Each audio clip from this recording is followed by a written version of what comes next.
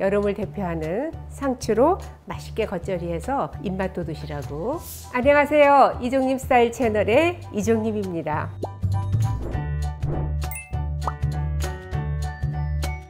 대표적인 찬성질을 가지고 있는 채소가 바로 상추잖아요. 상추는 신경 안정을 또 도모해주고 스트레스를 또 완화해주기도 하고요. 식이섬유도 많고 무기질 중에 카륨이 많아서 노폐물 배출도 시켜주고 비타민C도 많고 그래서 이 상추 가지고 겉절이 하면 고기 같은 거 드실 때도 좋고요. 반찬으로도 해서 드시면 아주 맛깔나게 만드실 수 있는 상추 겉절이 오늘 소개해 드리도록 하겠습니다.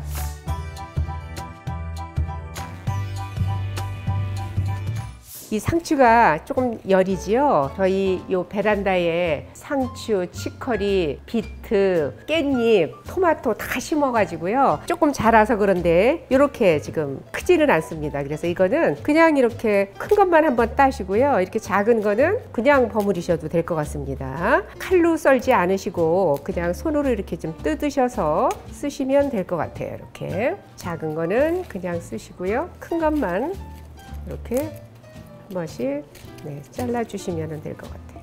깻잎들이 기, 잎이 안 크지요? 여기서 저희 그냥 키우니까 크게 잘 안 자라더라고요. 이렇게 해서 끝에 여기 꼭지 떼시고요. 썰으셔도 되고요. 그냥 이렇게 한 번씩만 이렇게 잘라주시면 될 것 같아요. 이렇게 네, 깻잎하고 이렇게 준비가 됐어요. 네. 여기에 양파가 좀 들어가야 맛있어요. 그래서 양파는 한 4분의 1개를 채 썰어 주시면 돼요. 이렇게. 네. 양파가 좀 매우면 물에 한번 씻어서 넣으셔도 괜찮아요. 이렇게 해서 끝에다 가닥가닥 떼시고요. 네. 너무 두껍게 안 쓰고 좀 얄풋하게 썰으세요. 그래서 물에 한번 이렇게 헹궈 주시면 매운맛이 좀 빠지니까 네. 헹궈서 빼서 쓰시면 돼. 여기에 양파 썰은 것까지 이렇게 준비가 됐는데요. 이제 무치기만 하면 되니까 얼마나 간단해요. 상추만 있으면 깻잎 없을 때는 상추만 하셔도 되고 근데 양파를 좀 넣으시면 되고요. 또 오이 좋아하시는 분은 오이도 좀 썰어서 같이 곁들이셔도 괜찮습니다. 네. 이런 양념은요 양념을 만들어서 버무리는 것보다 직접 넣어서 이런 상추나 깻잎에 고춧가루 양념이 이렇게 막 이렇게 묻어져 있어야 훨씬 맛깔스러워 보여요. 그리고 실제 맛있어요. 저는 여기에 제일 먼저 참기름을 먼저 한 스푼을 이렇게 버무려 주면요 양념이 훨씬 더 잘 묻어요. 그래서 이렇게 참기름을 먼저 넣어서 버무려 주세요. 고루 잘 버무리셨지요? 여기에 간장 한 큰술 정도를 넣어주세요. 그 다음에 여기에 고춧가루는 이렇게 해서 그냥 이렇게 넣어서 버무리셔야 돼요. 이렇게.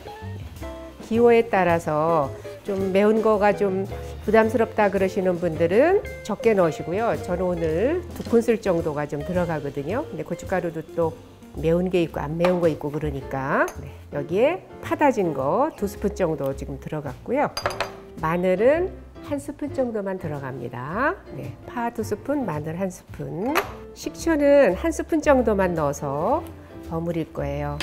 이제 끝이에요. 팁을 드리자면 아까 참기름을 먼저 넣어서 버무리셔야 양념이 잘 묻는다고 했어요. 그 다음에 이제 마지막에 통깨만 넣으시면 됩니다.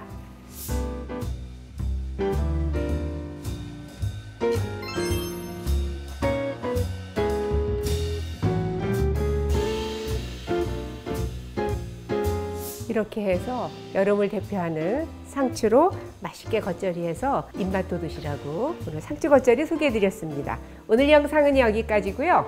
요리도 스타일도 이종님처럼 이종님 스타일 채널이었습니다. 좋아요, 구독도 부탁드리고요. 다음 영상 때까지 건강하세요.